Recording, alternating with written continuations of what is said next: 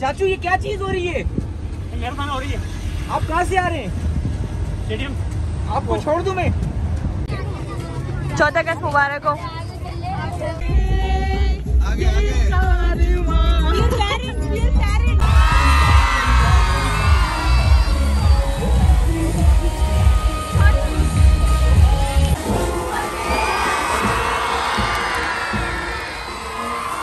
Everyone अस्सलाम वालेकुम मैंने सोचा आज की शुरुआत जो है वो सुबह की मैं बैक से करूँ। मैं बाहर का व्यू दिखाऊँ आपको पहले। माशाल्लाह से मौसम बहुत ही खूबसूरत हो रहा है। वो सामने मस्जिद है और आ, मौसम की तो क्या बात है। बारिश जो है वो फजर से शुरू हुई हुई है और अभी फजर का टाइम बिल्कुल अभी अभी ख़त्म हुआ है फजर का टाइम तो और हमने सोचा कि हम जाएँ नाश्ता करने। पहले हम नाश्ता करेंगे फिर हम जाएँगे कायद अज़म की मज़ार। आज है चौदह अगस्त जश्न आज़ादी का दिन है बहुत ही बड़ा दिन है आज। तो हमने कहा क्यों ना सेलिब्रेट किया जाए और जाया जाए? तो अब हम निकल रहे हैं। चाचू ये क्या चीज़ हो रही है? मेहरबान हो रही है। आप कहाँ से आ रहे हैं? स्टेडियम। आपको छोड़ दूँ मैं? सो गाइस फाइनली हम पहुँच चुके हैं नाश्ता करने के लिए आलमगीर हैदराबाद में। एक मिनट और- मेरे ब्लॉग में गरीबों का नाश्ता एक सौ बीस का है तो ये नाश्ता करेंगे ये क्या है? ये क्या है? गरीब फीकस ये गरीबों का या अमीरों का? ये गरीबों का और ये अमीरों का? जल्दी बताओ। दोनों का है। अच्छा आपने ऑर्डर कर दिया? हाँ मैंने तुम तुम्हारे लिए वाला मंगवाया है। कौन सा वाला? ये वाला। बात सुनो ये तुमने मेरा ये मास्क नीचे गिराया है ना इसकी कदर करो। ये बहुत महँगा है। समझे ना तुम?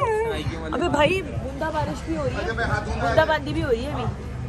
बूंदाबांदी हो रही है। बूंदाबांदी भी इंग्लिश में क्या कहते हैं? जल्दी बताओ सोचना नहीं है। जल्दी बताओ। नहीं नहीं नहीं नहीं नहीं नहीं नहीं सो गाइस अभी हमने नाश्ते का ऑर्डर कर दिया है। नाश्ता आ रहा है। हमने सोचा था आज कायजान के मज़ार जाएँगे हम प्लेट देखेंगे। हमारा हमेशा तीन साल से ये ख्वाब है जो कभी पूरा नहीं होता नाश्ते का ख्वाब है जो कभी पूरा नहीं होता। तो अभी हम यहाँ पर आके बैठे हैं और नाश्ता आ गया ओ हो हो हो भाई नाश्ता भी आ गया हमारा। सारा आ गया? कंप्लीट आ गया आलू चीज़ है। चिकन बनोड़ा। भाई भाई नाश्ता भी आ गया है। हमने जो है पहले जो मंगवाया था हमें वो पूरा नहीं आया तो हमने अभी दो लच्छे पराठे और एक अंडा मंगवाया है। डोंट कॉल दिस अंडा।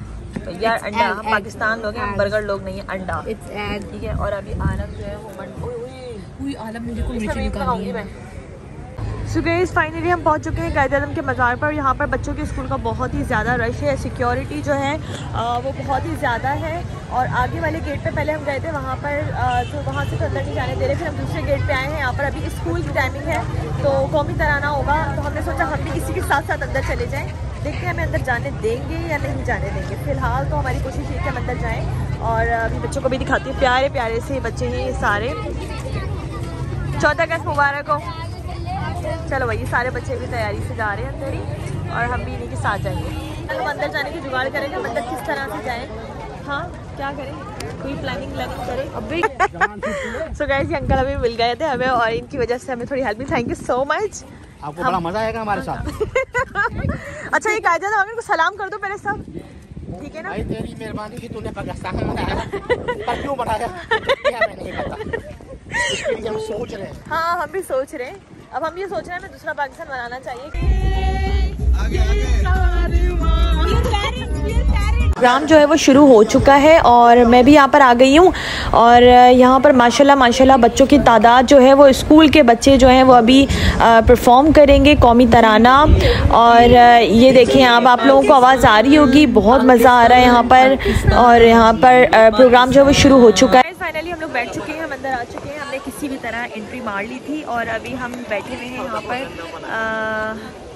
सब बच्चे यूनिफॉर्म में हैं और हम लोग उनके साथ आए हैं। तो अभी हम देखते हैं कि अभी क्या होगा क्योंकि अभी जो है वो कौमी तराना शुरू होने वाला है। आप पढ़ेंगे कौमी तराना? मेरा आप सुन भी सकती हैं। 11 तो। सितंबर 2015 के प्रोग्राम में जीतो पाकिस्तान में। अच्छा वहाँ पर है? आपकी दुआ चाहिए मैं सिंगर भी हूँ जी। क्या क्या है? क्या क्या है? मुझे हल्का मत लेना ओ हल्के तो आप नहीं है। मैं वैसे ही बात कर रहा हूँ। अलहमदुल्ला हाँ वाकई? अभी लगा के देख लो झूठ झूठ सा पता चल जाएगा आपको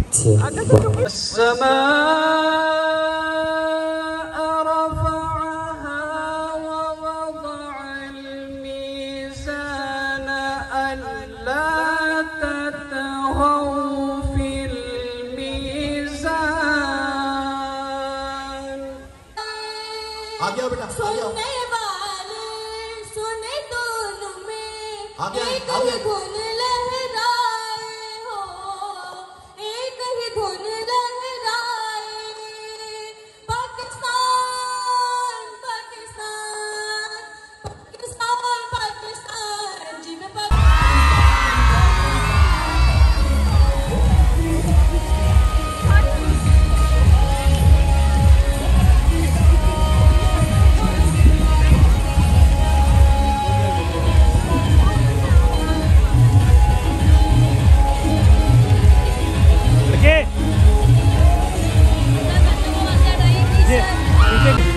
सो गाइस कौमी तराना जो है वो शुरू होने वाला है और परचम लहराया जाएगा।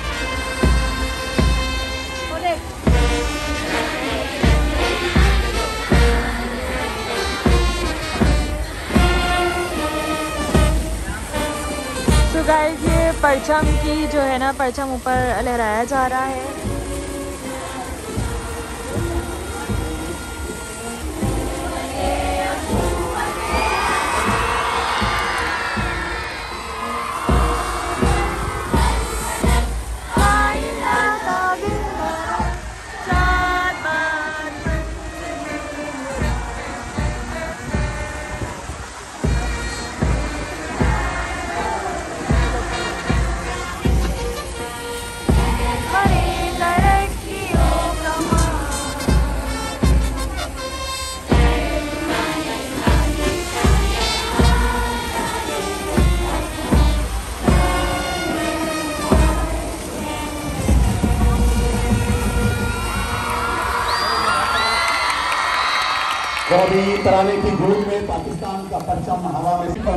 सो गाइस गवर्नर सिंध और वज़ीर अला सिंध जो है वो अभी जा रहे हैं कायद अजम के मज़ार पर हाजिरी देने के लिए।